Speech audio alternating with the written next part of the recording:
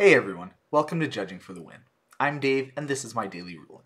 If you're from the US, then that means that today is Thanksgiving. And what am I thankful for? That's right, my patrons. So today I'm doing my patron pick. But it's not just my patrons that I'm thankful for. Anybody who supports this channel in any way has my gratitude. All of the stuff that everybody does, from liking, sharing, subscribing, or recommending my videos to a friend, all of that stuff helps give me the motivation to keep going and it gives me a warm feeling in the pit of my heart every time I think about it. So, to anyone who supports my channel in any way at all, thank you so much. Now, when I put my patron poll out to decide what the topic for today's video was going to be, I had an extra bonus one that I put in there. I had Dave's special secret ruling, and I guess everybody's curiosity got the better of them. Because I got a lot of questions about Disturb, I thought that would be a good topic for today's episode. There are a bunch of different Disturb cards out there now that we have the new ones from Crimson Vow. And I know it's kind of a cop out putting this in the middle of Crimson Vow week, but many of the questions that I received were due to the fact that the new Crimson Vow ones had the extra twist of having an aura on the backside instead of just another creature. So I think this should be alright. Many of the questions in today's episode only really make sense if you're considering the Crimson Vow Disturb cards that have an aura on the backside. However, if the question does make sense for the older ones, then its answer should apply to them just as well. I'll be sure to point something out in case there's any sort of confusion. Now, on to the questions. Well, okay, you know me. The first thing that I'm going to say is we'll look at the comprehensive rules. So here are a couple of relevant passages from the comprehensive rules that I pulled out to help get everybody situated. And so this is the definition for disturb that we got out of uh, the CR 702. And there's another thing that specifically talks about casting a spell transformed, which disturb is basically, as far as I'm aware, the only real way to do that that can come up without jumping through a bunch of hoops. So these are going to be pretty important for us for the rest of the day, and so I urge everybody to bookmark this or make a mental note of it and then jump back anytime that you're interested in reviewing the exact text. So that's the convenience feature that I put in there. Hopefully that is something that everybody will make use of as they see fit. Okay, so now let's get to some actual questions. And the first one here is how do alternate costs work? So the idea is, of course, uh, we have the Fist of Suns, and we want to play the Beloved Beggar's back half, uh, disturbing it uh, so what what do you think? Is it possible to pay the WUBRG cost instead of the uh, six mana cost that you would normally be paying to disturb this card?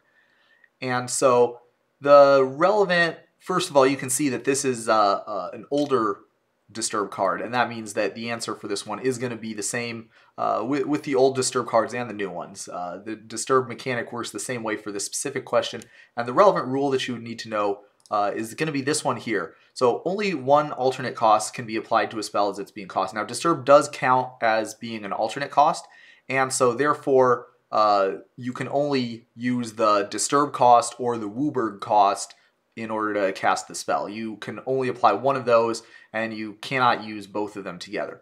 So that would mean that it's not possible for you to uh, pay WUBRG to disturb anything uh, with Fist of Suns.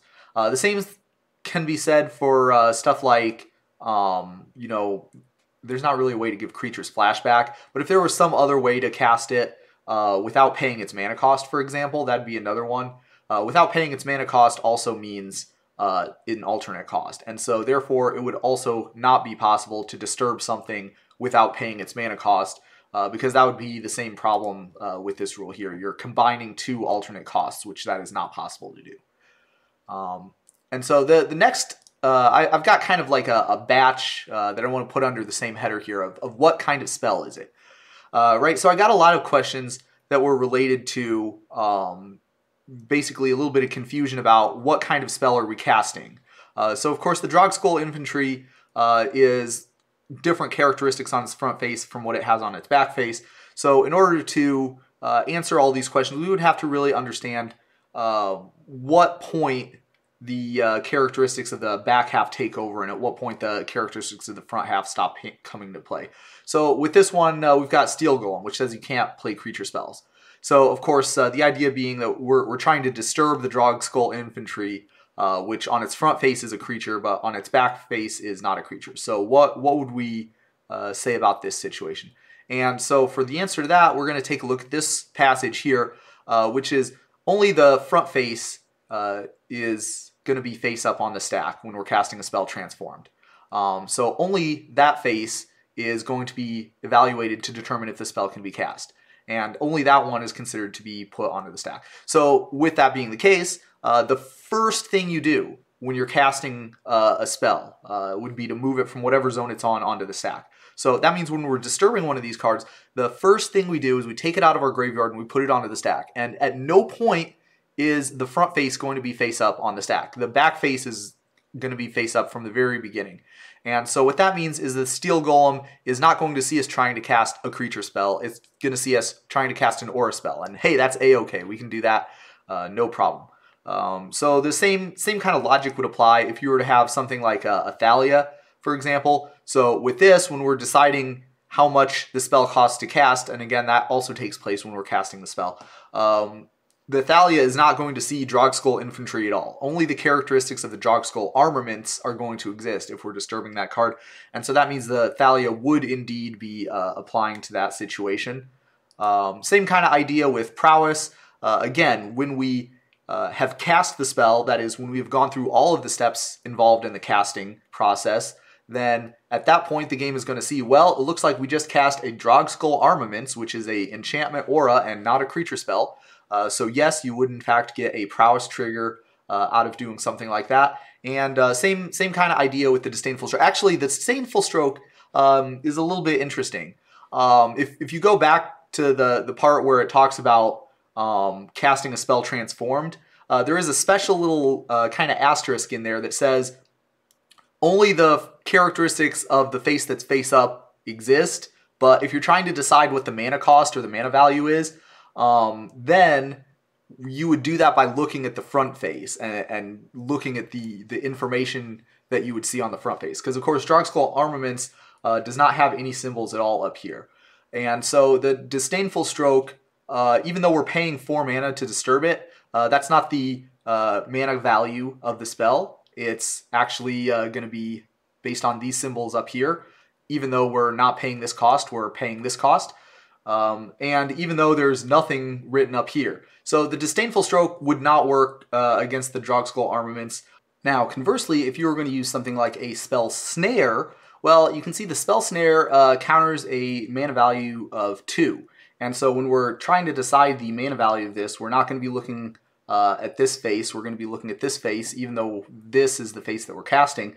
Uh, and so the Spell Snare will indeed uh, be able to counter this spell, no matter which half of it uh, you're casting.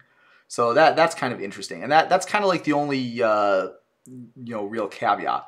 Now, uh, the next thing I want to talk about, and maybe this is something that uh, only I was concerned about, um, because it it is kind of like a little bit of a deeper kind of a question. Uh, the the amount of rules familiarity you would need to to think about something like this well, you would probably have to be like thinking of rules questions all the time if, if you're worried about stuff like this. But if, if this is something you were concerned about, I have good news for you.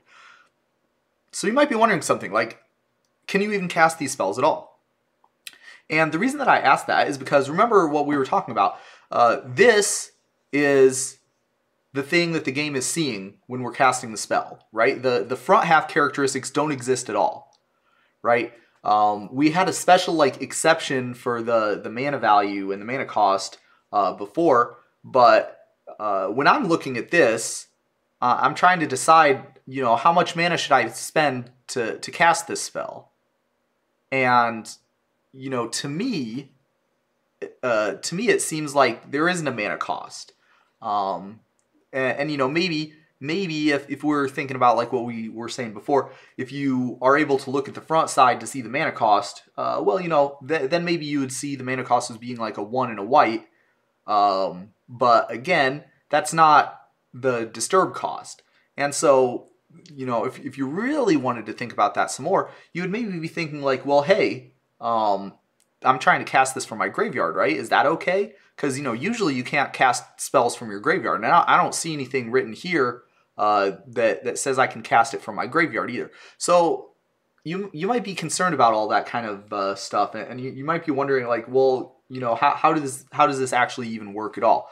Um, and so, you know, if you if you look at the comprehensive rules, you can see that uh, only the face that will be face up is evaluated to determine if it can be cast, and, and so it, it does look like we might be in a little bit of trouble. Um, because again, there, there's nothing on that face, uh, the the back half, that says that we can cast it.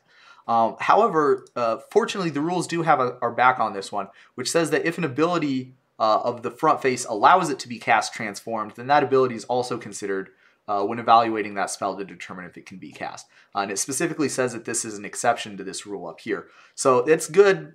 Um, everything's okay. The the rules team had our back on this one, and so this is in fact the reason why uh, you're able to cast these spells uh, transformed at all. Uh, if we didn't have this rule here, then the game would come into uh, a little bit of a problem when it's trying to decide whether it's legal for us to cast this spell or trying to decide what the cost to cast it would be.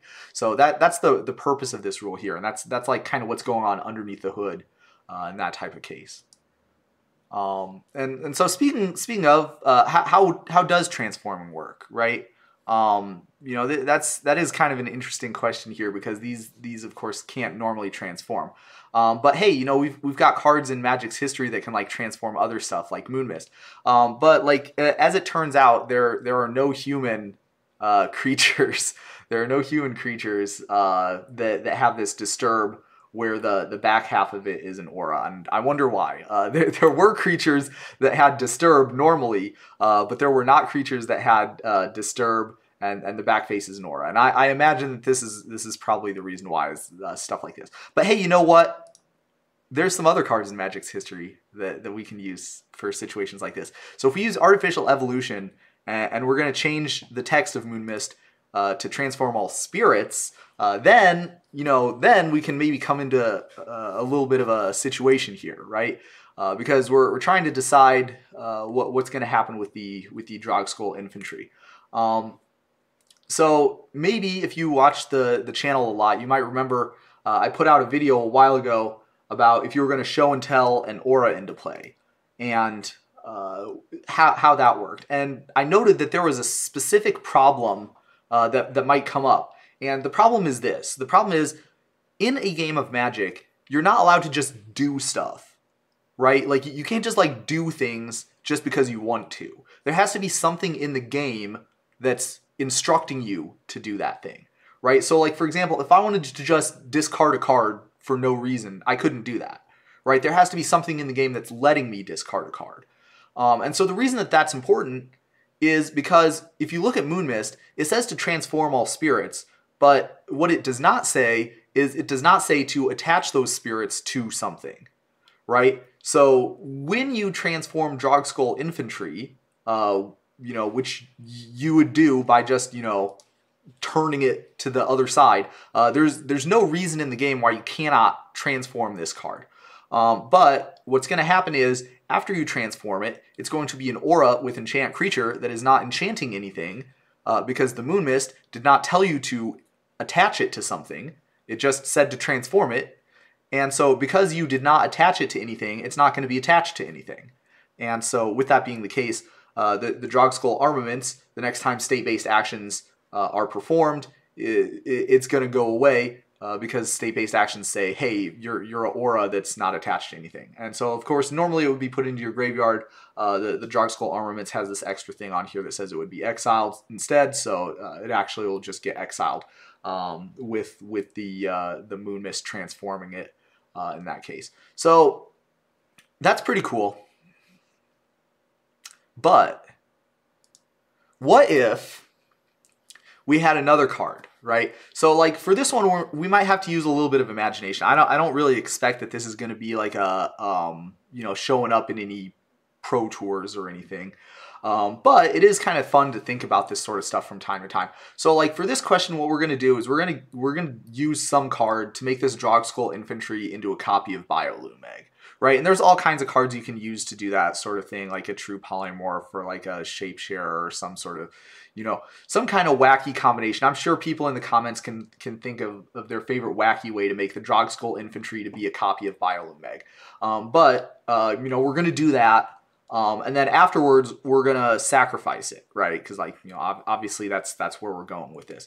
So what would happen in that case? And now now we're getting into a little bit of a, a really interesting one, because uh, what you see is uh, when you sacrifice Biolume Egg, return it to the battlefield transformed uh, under its owner's control at the beginning of the next end step. Uh, so first of all, um, the the fact that the like name and characteristics of this card change after you sacrifice it uh, that that's not going to be a problem. Uh, the game is actually going to know that that the like piece of cardboard in your graveyard is the same permanent that is the source of that ability. Uh, so the the fact of the matter is that when when the next end step rolls around, the game is going to be able to identify that this yep this Drogskol infantry is indeed the uh, the permanent that got sacrificed. So that's the one that we're supposed to be uh, returning to the battlefield transformed. Um, so we, we, you might be concerned a little bit uh, that, that, we're going to have the same sort of problem as, as, what we had in the previous situation, right? Because again, nothing here uh, says to uh, return it to the battlefield transformed and attached to something, uh, right? And if you if you look at some of the other ones, um, like the the Strangler card, uh, if, if, you look at some of the other uh, cards that when they transform, the transformed half is an aura. The the thing that puts them back onto the battlefield generally will say uh, something like that. It'll say something to that effect of return it to the battlefield attached to, you know, whatever, whatever you're supposed to attach to. But you can see that this situation, of course, does not have anything like that because, of course, the Biolume egg, when you transform it, it's it's not normally going to be attached to anything. So why would they write something like that in there? That'd just be kind of weird. Um, but uh, it turns out that in this case, uh, actually, the, the CR does have our back on this. Uh, so if an aura and, remember, we're, we're putting it onto the battlefield transformed, so the game is going to see that this is an aura entering the battlefield. Uh, under any control, uh, under a player's control by any means other than resolving as an aura spell, which is what we're doing here, and the effect that's putting it onto the battlefield does not specify what it will enchant, which again, that's the case here. Uh, that player will choose what it will enchant. So in this case, uh, actually, yes, yes, you will be able uh, to put it onto the battlefield, enchanting whatever uh, thing that you want. Um, and as an added bonus, you you actually could put it on something that has hexproof, um, or uh, uh something that uh, you know has shroud, or you wouldn't normally be able to put it on. Uh, like if you put it on a ward creature, it would not count as targeting it, so you wouldn't have to pay any extra. so I made another video where I talked about that in, in, like some more detail. You could check that out if you're interested. Um, but the, the cool part that I wanted to highlight here is that yes, uh, even though the situation might look kind of similar to the Moonmist one, uh, where it just, you know, immediately fell off because of state-based actions, in this case, even though there's nothing that says to put it onto the battlefield enchanting something, you actually still do get to enchant something um, because of this this specific rule here. And uh, again, the, the reason why this one does not work with the, the Moonmist is because the aura isn't entering the battlefield with Moonmist. It's already on the battlefield and Moonmist is just transforming it. Um, so it's it's not leaving the battlefield and then coming back like what the, the Biolume egg did. And that's the reason why this one, uh, the, the Biolume egg does work and other, other stuff that makes you leave the battlefield and then come back transformed. Um, okay, so that that was all the questions that I had uh, prepared for today's episode. And, and, again, thank you so much to all my patrons. Um, could not be doing this without you. Well, you know, I, I, guess I could be doing it without you, but the the fact that you're supporting me uh, as patrons really means a lot to me. And I probably would not do as much uh, of this without you or as good of a job uh, without you. So, you know, everybody give yourselves a pat on the back for that. Um, everybody else, uh, like I said before, thank you so much uh, for giving me your likes, your subscribes, your follows, whatever whatever social media stuff there is, uh, and your attention because uh, I know that going through you know however long this ends up being worth of magic content. Um, you know, it, it might not be for everybody, but I do appreciate that there are people out there who are interested in hearing this sort of stuff. And as long as there are people like that out there, I'm going to probably be making these videos for you. So thank you so much to everybody, and I hope everyone has an awesome day.